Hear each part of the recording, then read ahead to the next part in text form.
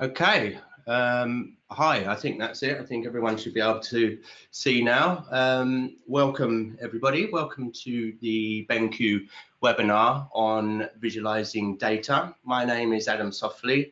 Um, I um, am from the design agency S&R. Um, we work within uh, data visualization, work with infographics, editorial design, um, brand, um, so this is one of my uh, favorite subjects, if you like. Um, so I'm going to just talk to you a bit. It's, it's kind of top line about what is data visualization and, and how to use it. Um, so just to kind of give you a bit of an idea about uh, what we do as an agency here, um, I'm just going to show you some work. Now, unfortunately, um, our website is currently in development, so it's not um, up and running at the moment. I'm just going to flick over to uh, our, our Behance page that we have, because this will just kind of give you a bit of an idea about the type of projects um, that we work on. Um, so you can see it's just from these these thumbnails, it's not just uh, data viz that we work on. There's lots of editorial projects as well, but what we find is um, these go sort of hand in hand, editorial and data visualization go hand hand in hand. Um, so there's lots of projects you'll see um, like that. Now, there's also ones like if I go into here, for example, as this is a BenQ webinar, I thought I would just get this up and there's things like even product reviews. So this is this is a product review we've done for uh, their 32 inch um, screen that we use here, the uh, the PD3200U, which is a fantastic 4K monitor. Um, so you can sort of see anything from editorial design through to these types of infographics, um, which is not even sort of data as such, it's more of a sort of a story here. Um, so there's projects like that. If I if I uh, go back a bit, um, lots of illustration we do as well. And these are the sort of things we'll be talking about today, sort of, you know, how we, we come to um, choosing these sort of data sets, so similar like these projects here, um, and how to use it. So if I just go back to uh, the presentation as well. So um, what we will be running through today, uh, so is what is data visualization? So we will look at um, what are the differences between data visualization and infographics.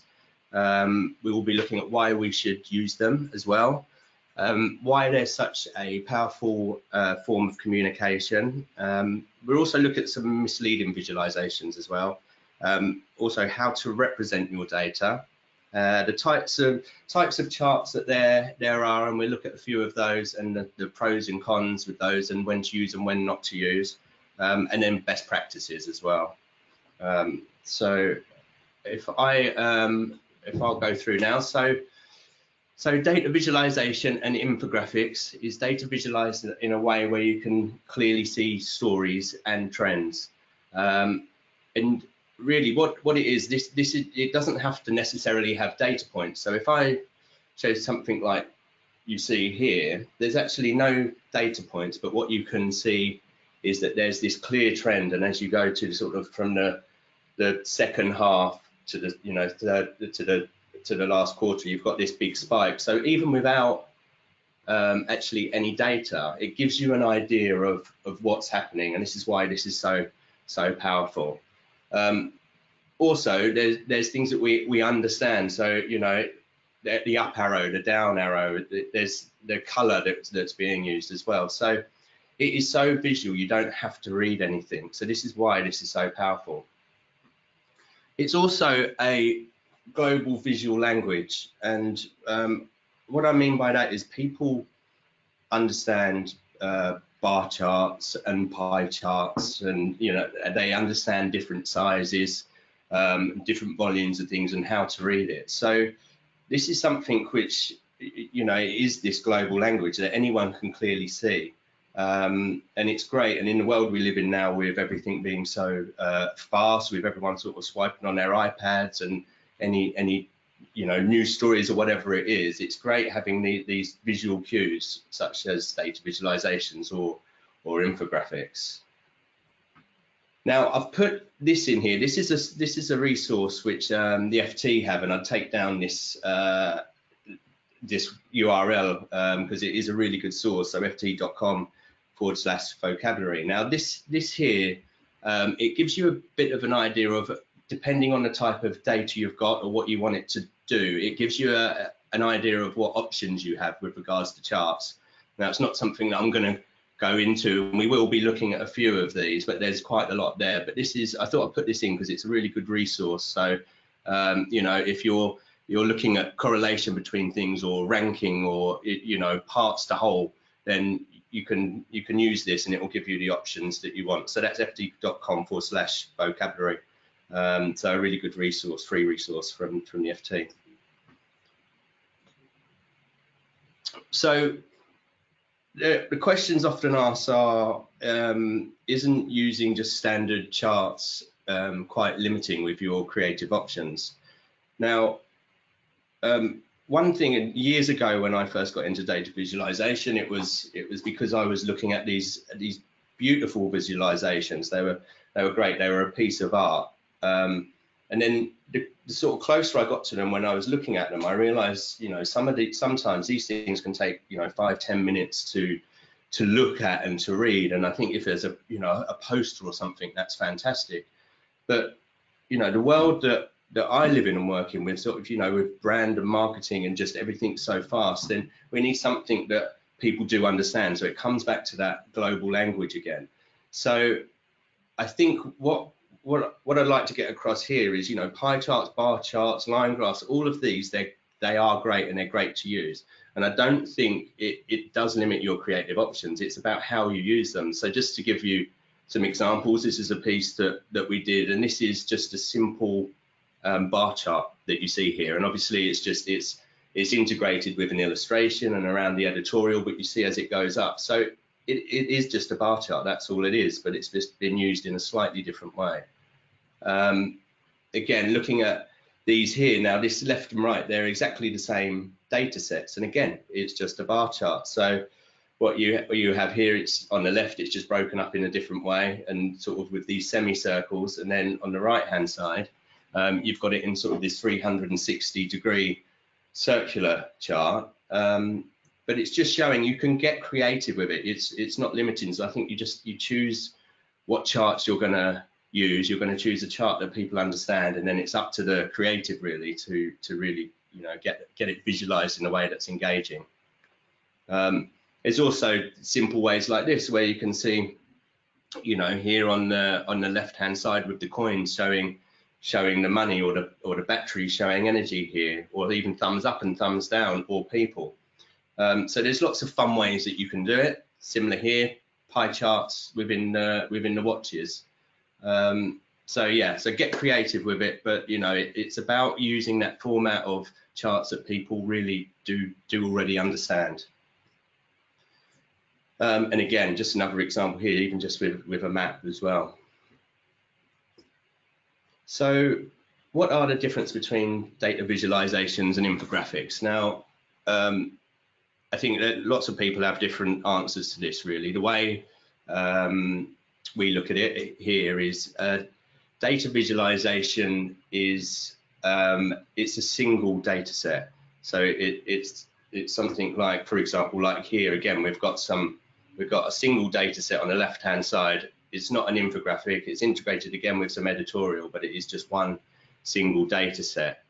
Um, whereas if we're talking infographics, then I would say that's that's lots of single data sets that kind of make a story. So again, just to give you some um, some examples. Again, this is a data visualization because it's one data set, but it's it's done in an engaging way. Whereas something like these two dashboards here, you'll see they they are single data visualizations, but they're put together to make a story or a summary. Um, so these are what we would call infographics. So that's the difference between the two really is um, one is the single data set and an infographic is where you have those data sets together to create to create the story. Um, and again, here's another example of you know the, the editorial um, with an with an infographic as well and those different data sets. Um, now this one here, again, this is this is more of what I would call an infographic, but there's not actually any data that you see here. So just to scroll down a bit, but what we've done here, we've pulled out a, a bit of the, you know, what's within the text, but this is an illustration to accompany it. So it's still an information graphic. It's it's still talking of showing a visual um, representation of what the what the copy is. So again, anyone that's looking at this quite quickly can look at it and get an idea of what the copy is without actually having to read it. So why do we use infographics? What, what are they for? So we use them to communicate complex stories and to share knowledge. We use them to locate and visualize problems and help find solutions to comprehend complex information visually, making it in, in, intelligible, quickly and effective to understand, and to identify relationships and patterns quickly, and to represent statistical data in a visual form, and also to um, pinpoint emerging trends as well. So now this has been around for for years. You know, even from um, you know going back as far as cave paintings, really. Um, but I've just put a few examples here just so you can see sort of the early days. And although this one on the left is a, is a, little bit gross with the urine wheel, um, it actually is a great visualization on how it was used to diagnose disease based on, on the color of this wheel. Um, same in sort of 1640 with this chart, which was used by sailors um, to navigate across the seas and to locate harbours. Um, and then you've got William Playfair here um, with the, these bars and pie charts. Now, William Playfair was actually said to be the uh, the inventor of the, the, the bar chart and the pie chart. Um, so this is some some that is done here in the 17th century.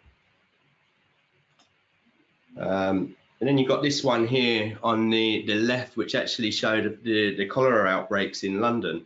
Um, and what John Snow did here in 1854 is actually is basically just created a bar chart in the areas of where these outbreaks were, so you could see um, where it was all happening. And then on the right hand side here is is quite a famous one, the, the Nightingale chart by you know by Florence Nightingale, um, that shows how many people had died in the army in the east. So um, you know, these visualizations, although it's kind of at the, at the moment we're sort of there's data visualization and infographics all around us. They have been around a long time, and it, it's you know there's such a great um, way of communicating uh, complex stories.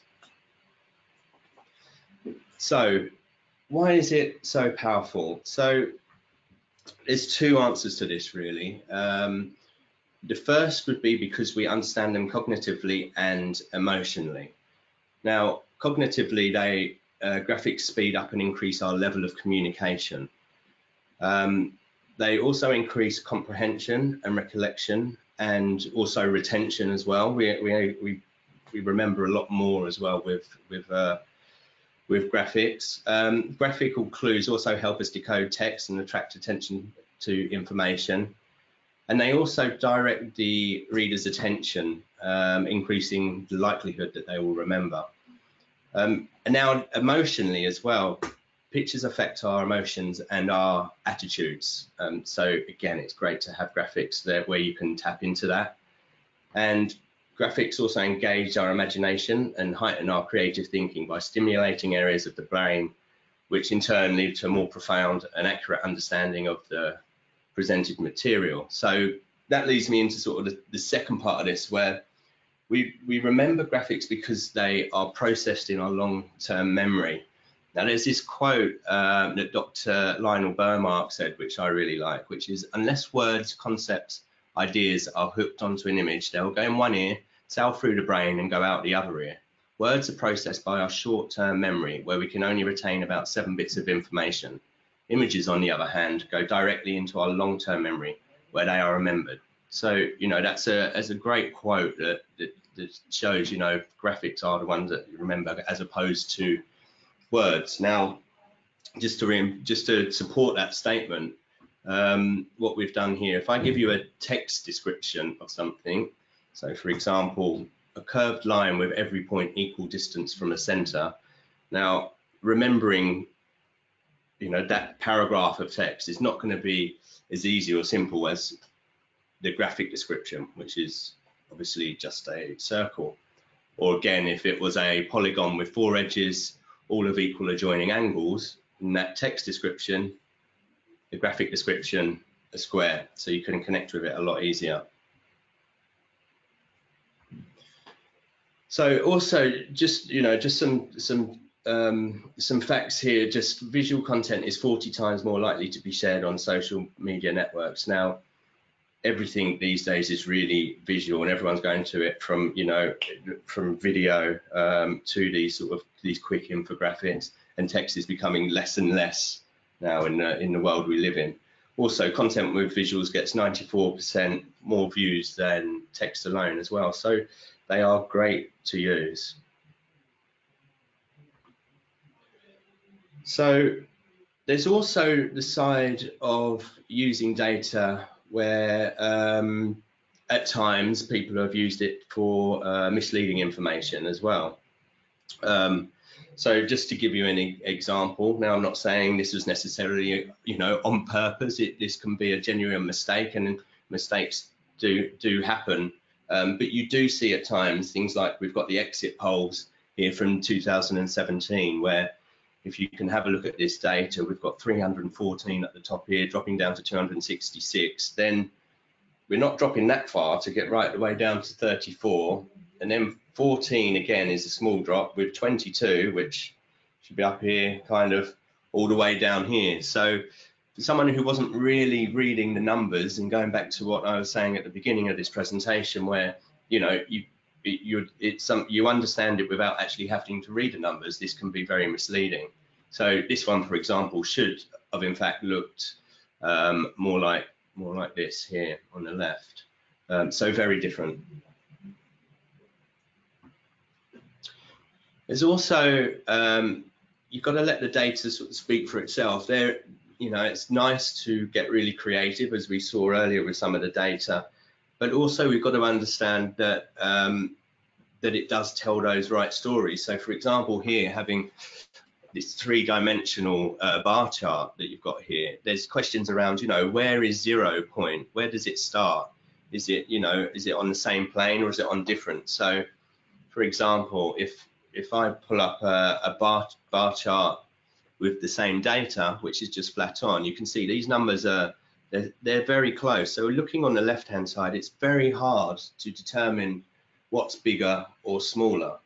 Um, so just when you're looking at your data and thinking about ways creatively, um, if it is important for you to see clear differences, such as, you know, which which often you do when you're using something like a bar chart, just think about the, the best ways that you'll visualize that. Because if it's going to be something like we have here on the left, it it may not um, get the point across that you're that you're after. So if, so again, something like we have here, uh, three-dimensional. A and B are quite similar in size, so it's difficult at first glance to really see what's the biggest and the smallest. So looking at you know how it is front on on the, the flat view, then it would look something like that, and you can clearly see A is uh, bigger than than B. So how to represent your data. So now if there's anything um, anyone can take away from this webinar today, this would be the one thing that I would I would say to to really to pay attention to, and this is adding context. Now, um, with our clients, so many times we get data sets and and clients are so close to their data they talk about big numbers or small numbers and it means you know everything to them but actually to their audience without any context they don't really know um, what the full story is so to give you uh, an example of that if we say for example in 2008 goldman sachs had a total net revenue of 22.2 million um, which i mean to me 22.2 million dollars sounds like a a huge amount of money. So if we just visualize that, there we go. Um, so that that's great. So you know, without knowing anything, I'll go, okay, 22.2 million dollars. That's a that's a big number. Now, it's not until we add context we really see the bigger picture. So if we add the previous year, they were at 45.9 million. So it isn't until you add that context that that big picture becomes clear. And obviously you can you can do that with more and more data sets. Um, so as I said, if there's anything, you know, when looking at your data, really think about the context around it as well. It's not just about displaying the numbers of today, it's of yesterday or even projections as well. It's also about finding the right story within your data. Now, there's there's no real rules about how to read data, and sometimes you can just keep going and keep going and find lots of different stories.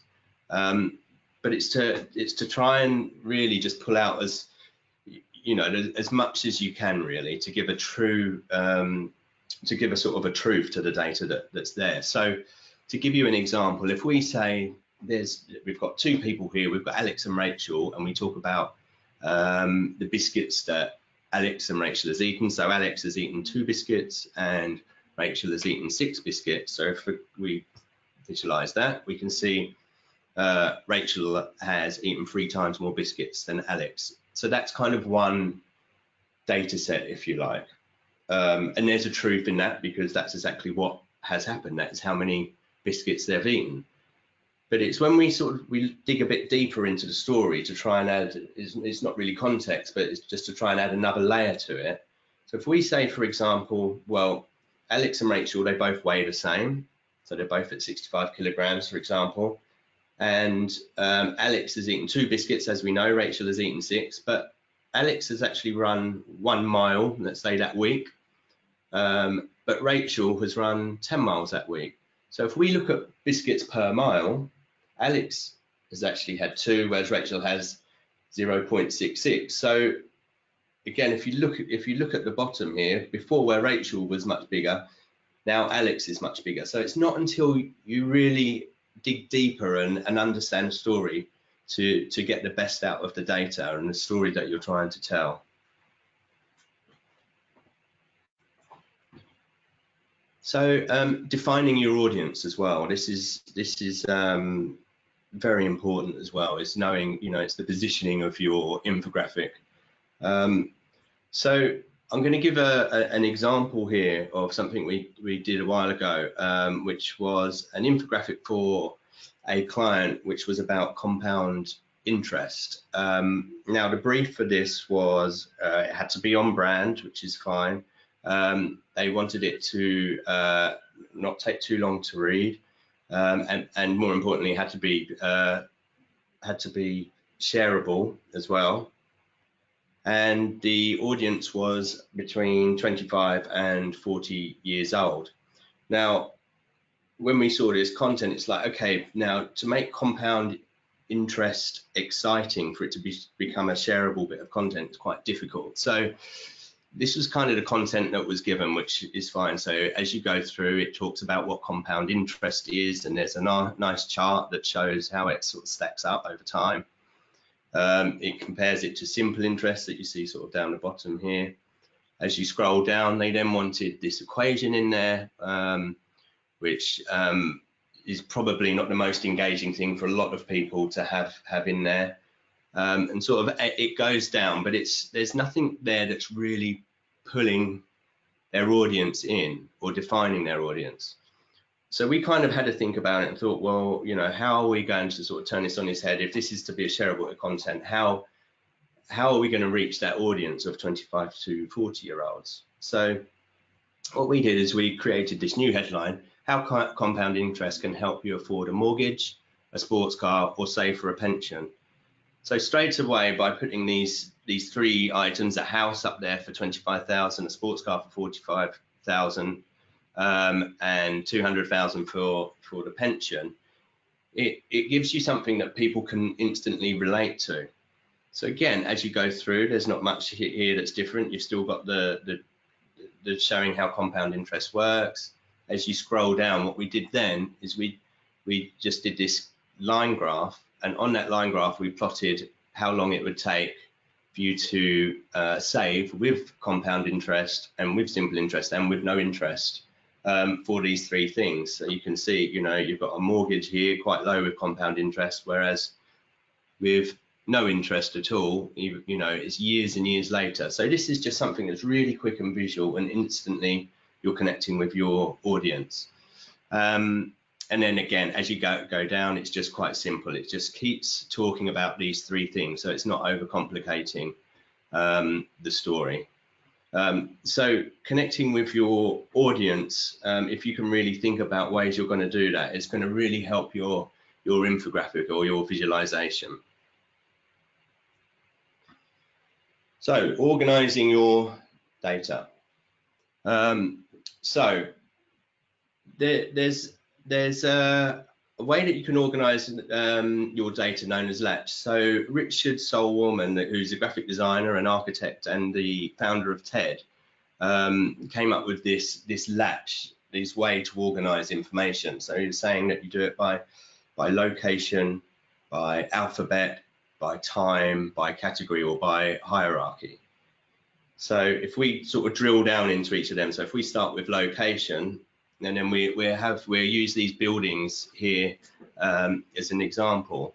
So the way that we can categorize these buildings is by location. So we can literally say where, and you can see here how it's plotted on where they are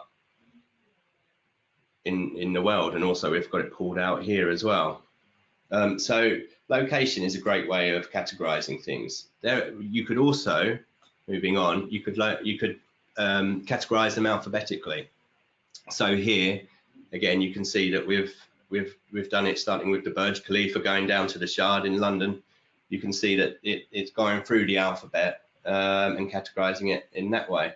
And what's nice about if if we did it that way, um, at times it can give you it can give you nice random uh, spikes with your data. It's not in this order of you know high to low, um, but actually there there is a it does make sense. It, there's still logic there for why it's that way. It's not just random. There's time as well, so great for things like timelines. Um, so you can see here the different dates in which the buildings were um, completed.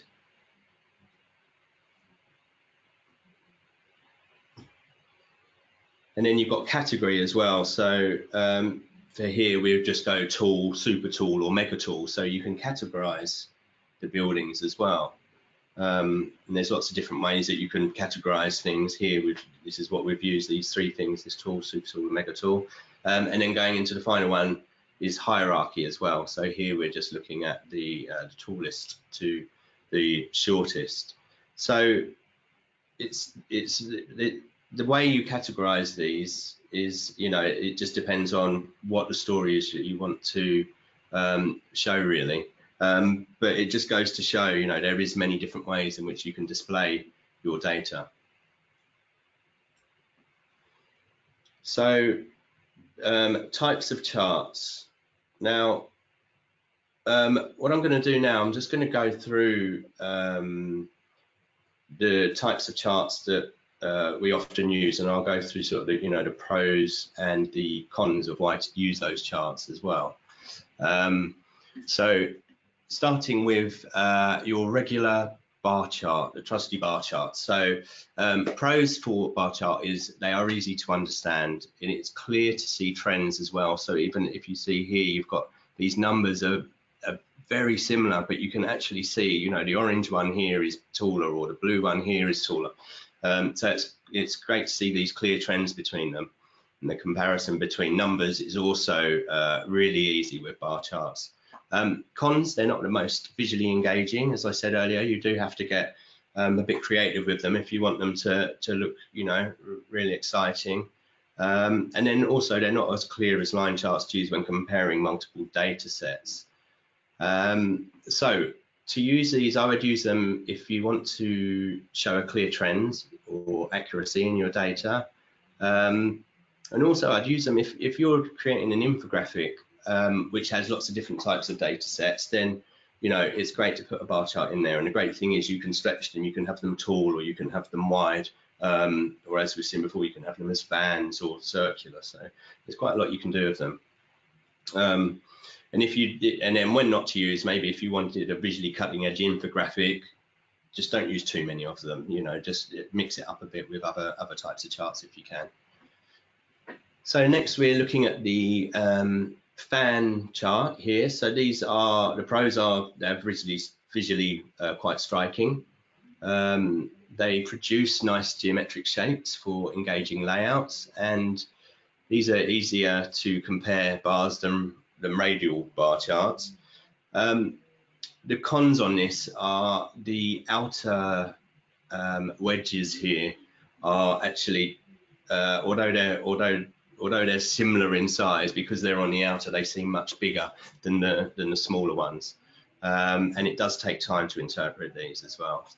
So I would use these if you need more visual impact than a bar chart, for example, um, and also use if you want to ranking in order of size and um, I wouldn't use them if this is something where you just need a quick interpretation of the numbers. So um, maybe not best for that. So moving on to the radial uh, bar charts. So um, here, these are these are quite visually striking again, and these are great for um, engaging page layouts as well, and especially if you're working within editorial, um, you can you can move these around and you can have them as different shapes and you can work the editorial around them quite nicely. Um, so it works well for that. Um, they are quite hard to interpret as well, um, and it's hard to compare the bars accurately, especially due to the distortions as they as they sort of curve around. So again, you've got this, uh, this the numbers here. In fact, you've got 2.6 here in the inner circle and 2.2 on the outer circle, although this looks bigger. So if interpreting the data accurately is important, then this is not the one to use. Um, so I would use it, um, I mean, I've, i think I've just said this, but if visual impact is important, then um, more important than uh, comparing the data, then use it, and also use it for ranking size and order, and don't use it if it's if clear comparison between numbers is needed. So um, pie charts. So these are great and effective at showing a proportion or percentage of a whole amount. Um, visually, they can be quite attractive and they are very easy to understand as well. Um, it is difficult to see trends if you have, you know, pie charts next to each other. If you've got multiple ones, then it's hard to compare the data that way. It's just easier to compare the data from sort of a, a pie chart and all the data within that as a whole. Um, and it, the, another con to uh, pie charts is you can't really display negatives um, with this, so minuses. So um, when to use, use when you're talking about a whole, when you're talking about 100%, and um, use them if you're looking for something that will quickly engage people as well. Like I said, really easy to read. Um, try not to use if you want to compare lots of segments as well. So if you've got lots of data points within a pie chart, um, it might be difficult to read um, those subtle differences. So the Sankey diagram. So um, these are used to effectively show flows and trends. Um, and they really reflect the big picture of what's going on as well. Um, and now these can be really visually striking, um, but they also can be quite difficult to read sometimes if you're not sure what you're looking at. Um, so and especially if there's lots of data points within that as well they can be quite overwhelming when you see lots of you know lots going on and they're quite hard to read so I would use when we to show transfers, uh, flows and connections between different groups. But if a quick understanding of your data is really needed, um, maybe that's not the one because they do take time sometimes to work out. But again, it depends on you know what how many data set how many data points you've got within your your data set but um, you know really can be quite attractive to these ones and look really engaging on a page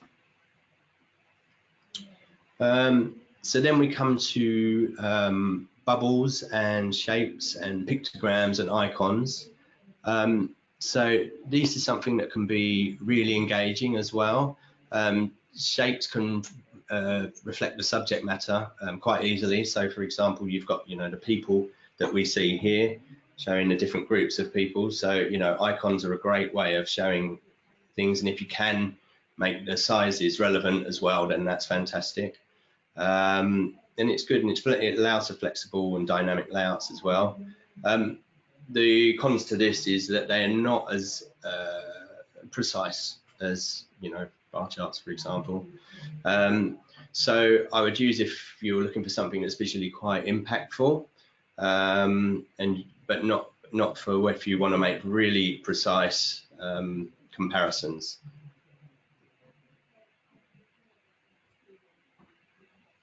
And then we have tree maps as well. So tree maps are great for a you know a flexible design. You can squash them and you can pull them about, and you know they generally, no matter how, where you pull them, they'll they'll stay um, in prose, so everything is still relative to each other.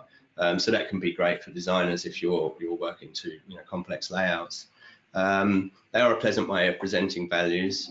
Um, and you can fit a lot of data within tree maps, but obviously it depends on what the size of your page is or your, you know, your web page or whatever you might be using it for.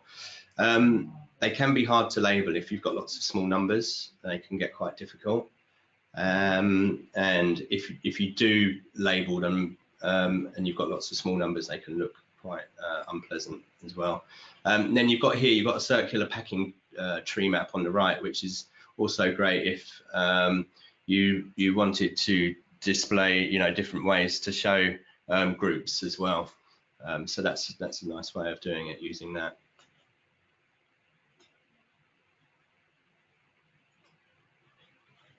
Okay, then now we've got area graphs as well. So area graphs are great. They show quantity over time and they reveal um, trends and these are great for, for looking at trends over times. Um, they're more striking than a line graph as well, which is just sort of a single line. These are sort of filled in with that, as you can see, like the orange showing the full area. Um, they are hard if you've got multiple uh, data on top of each other. It is hard to show these multiple data sets, and as you can see here, sort of it's going up and down, but it's hard. You kind of get lost. So again, also if you wanted to use something, and this is sort of on the fly with people to understand this quite quickly, maybe not the best way. Maybe you should go to more to a line graph. Um, so when to use to show to show precise quantities over time, to show trends in relation to another variable. Um, when not to use is when comparing multiple data sets that overlap. Um, now, similar to what we've just looked at, but these are stacked area graphs. So these are great for showing several quantities over time. Um, visually striking, and they they uh, visually striking compared to line graphs again because they're sort of filled in rather than just these these uh, light lines. Um, now, the negatives on this is although the overall trend is clear, it is hard to see each data set and what the numbers are with that because of how they're stacked. So they can be hard to read sometimes as well. So um, these are ones that we would use if the overall trend is important and but the inner layers that you see are less important um, and also use if you wanted something you know where you could you could have a lot of color on the page as well. Um, I wouldn't use if quantities need to be comparable so I would use a line graph instead. Um, and here it is the line graph. So as we've said you know prawns the prawns sorry the pros that make it uh, more effective for comparing several trends over over time as you see here at the bottom. Um, but just because they, they are generally these light lines, they're not going to be as visually engaging and striking as they, you would with um, other charts such as the area graph. Um, so when to use it would be if we were to compare several trends um, in the most accurate format. And, um, you know, often you get this in formal and academic work as well because it's just clear and easy to see. Um, when not to use is if we are looking for something that's really impactful um, and if that's more important than comparing then we wouldn't use it for that. Now we've got the scatter graph here. Um, so scatter graphs are great to show the relationship between two variables. Um, and they you can also include the line of best um, to show quick trends. Um, the cons is it's it's hard sometimes to understand um, and to understand the correlation between you know the, the, the x and y coordinates. Um, so we would use that if we were looking for a, an effective way to show the correlation between two variables. Um, if there's no clear trend, unlike we've got here, we can see we're talking about gross national product and life expectancy, and you can see sort of as the gross national product goes up, life expectancy goes up and there's a clear trend. If there's not a clear trend within your data, um, probably not best to use. Um, and then we've got the bubble plot, so very similar what we just saw, but this is then adding another variable on there. So in this, we're talking about population, so same sort of data sets, but adding population on.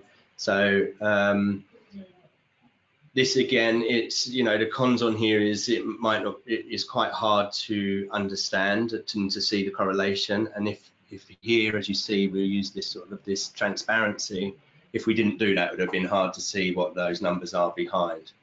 Um, so when to use is to use if you're looking for a very effective way to show a relationship between three variables. Um, um, if uh, interactive users can roll over these numbers on um, things like inter interactive um, uh, infographics where the numbers sort of pop up, then these can be great for that.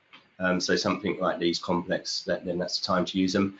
Um, when not to use them is when informal infographics or data is to be read really quickly. So, um, so that's kind of with the charts. Now, also we at times we have to visualize data which is uh, not quantitative.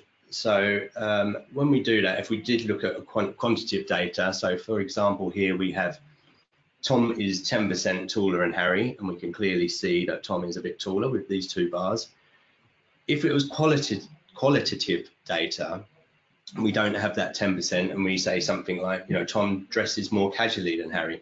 This is when you can do it with illustration or iconography or pictograms.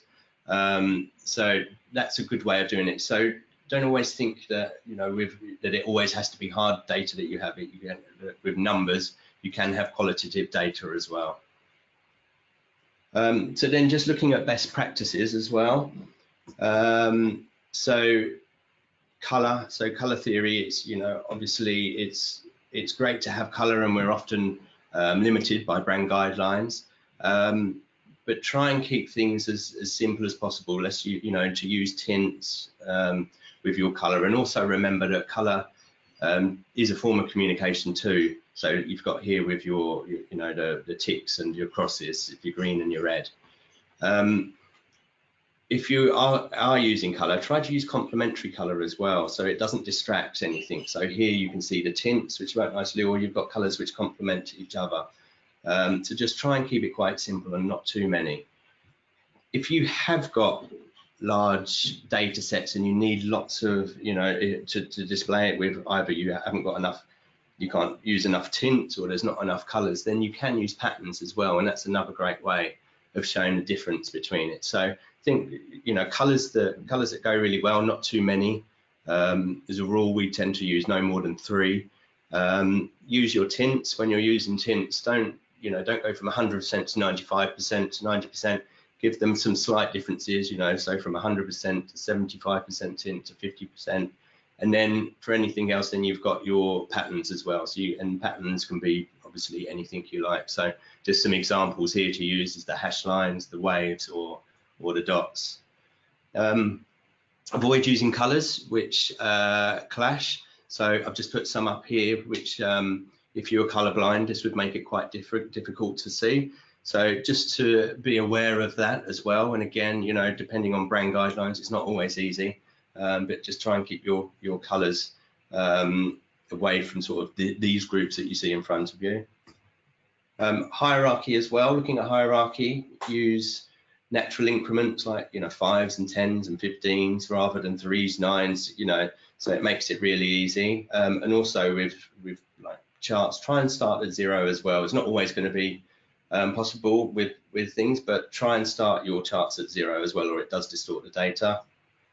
Um, keys and legends if you've got a large data set or there's lots of labelings such, such as you see here then use keys on there you know so then and again use color to pull it out um, and do it that way rather than having it all labeled. Otherwise, it would just get messy and you won't understand it. Um, when looking at ranking, um, this really, I guess, with anything, it's sort of logic going from small to big, or this here going from, you know, clockwise as well. So start pie chart at, at your zero here at your 12 o'clock and go clockwise round. and then fonts as well. Pull out your information that you want people to see with your font. So if the numbers are what is important, then you know use but embolden them or make them a different color or something there that just makes them a bit different so you can see the difference. Um, so in conclusion to all of that, um, firstly, get credible data set. Um, make sure you know that, that you're true to the data as well. Um, find the story within your your data. Look for those interesting facts. Look for the context around it, and once you've got that, you can build upon that. Um, define your audience and know who you're talking to. Position that infographic or that data set towards them and what they would like to see, and, and that connect with them. Um, and then organize your data as well. Make sure it make sure that it that it sits right on the page. You know there should be a hierarchy of almost like a, a pyramid tailing down where you've got your hero information at the top and then the less important as you go down. Um, and then choose the right uh, charts or icons um, or even illustrations as well to visualize your your data. Um, and then finally get creative. Have fun with it um, you know, so once you've once you sort of got all of that, then you know, as you saw saw at the beginning, then yeah, just really go to town on it. But just remember, this is a language where you want people to see clear differences. You want to, you want it where people can you know understand this quickly, um, and you really want to get your message uh, across to them. This is a this is a communication tool. Um, so um, that's it. That's the end of my presentation. So. Um, thank you very much. I hope that was uh, helpful to you.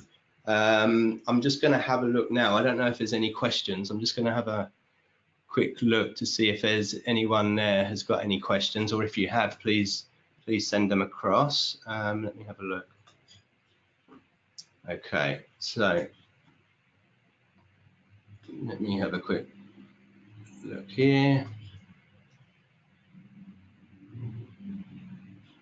Okay, so I have this one here from Martin. Um, it says, Dear Adam, thank you for your presentation. Is there a specific software you would recommend to manipulate data, data with accuracy while maximizing, maximizing creative freedom? Um, personally, I mean, I, because of my editorial background and um, I use InDesign a lot, so I will start with Illustrator and I will put my my data sets in there, whether that's from, you know, it start usually starts with Excel or some sort of PDF or something, but I'll I'll put my data into um, Illustrator, but then I will take it out of Illustrator and I'll put it into InDesign.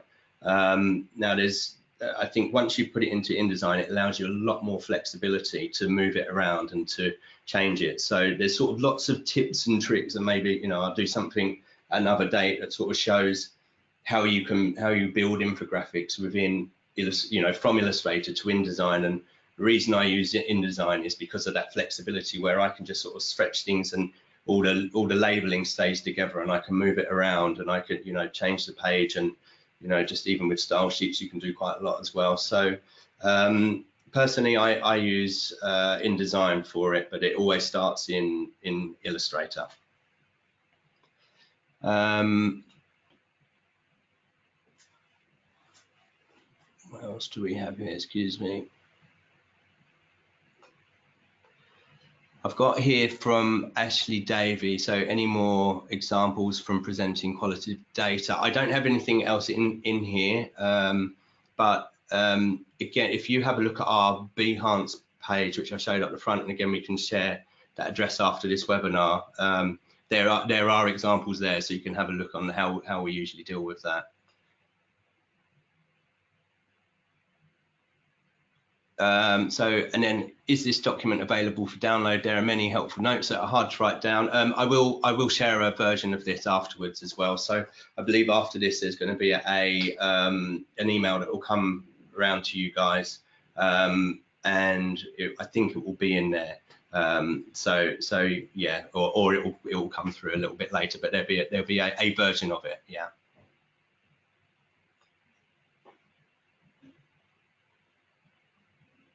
Um, okay, this one is from Mattis. Hi, Mattis. That says, Adam, in your opinion, how would you take on an infographic for big data? Oh God, that's a that's a good question. Um, Now, we've done lots of um, guidelines for uh, big sort of corporate companies, and one thing, you know, when doing guidelines is um, it's hard to to define, you know, how big a data set is going to be. So, um, you know, where do you stop? And it can just keep going and keep going. I think with, you know, what we're looking at here with infographics and data visualization, we're, we're not actually looking at big data, we're looking at small data. We're looking at big data is kind of funneled through and filtered. And what we should be looking at is that filtered data, which I call, you know, small data. And it can still still be a fairly big data set. Um, but not huge. If it was a huge data set, then um, I, mean, there's lots of different ways of doing it. It just depends. I mean, interactive um, is generally how I would go. If there's a huge data set and you want people to move around it, then then what I would do is, yeah, I'd have something that's online that's that you can sort of manipulate and take your your own journey yourself. Um, okay, I hope that answered your question, Matas. Um, now, is there any book you would suggest to learn more about infographics and data visualization? Um, cool, that's a good question as well. There's loads. Um, I think just have a look what's out there. I mean, we've got we've got lots of books on our shelves here. I think one thing to bear in mind as well is, you know, is, is graphic design, the rules around graphic design apply, apply to data visualization.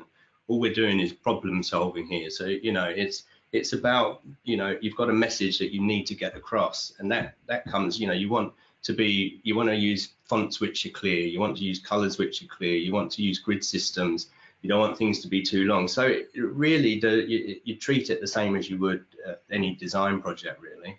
Um, so don't just look at the, the books on data visualization look at books on you know graphic design in general because that that will help um, what other questions do we have? So how much testing do you do with the effectiveness of your visualizations? Is feedback given from external sources as well? Um, yes and and no. Again, it depends on the projects. Um, sometimes when we've done visualizations, it, it, depends on the audience as well. So if it's more um, B2C, we've done stuff which has to go into heavy testing. So um, we'll have a brief, we'll come back with, okay, these are the different ways in which you can visualize your data. Then that will go into workshops and it's, you know, it's been workshops, whether it's in the UK or if it's globally or it goes up and down the country and they have these different groups in. Um, I think I've probably been in the game a long time. I often know what the, the results are going to be because it, it, it's quite obvious once you sort of see it. But um, but we do test it at times, yeah. But also within the studio here as well. I mean, it's, you know, we've, we've got a studio here of about 12 people and it goes through most people to, to see if it all makes sense. Brilliant. And I think that's the uh, end of the questions. And we are getting close to um, seven o'clock now. So um, I would like to thank BenQ for inviting me um, to this. I'd like to thank everybody else as well for, for watching. I hope it was of interest. Um, yeah, and uh, yeah, good. Thank you very much. Bye bye.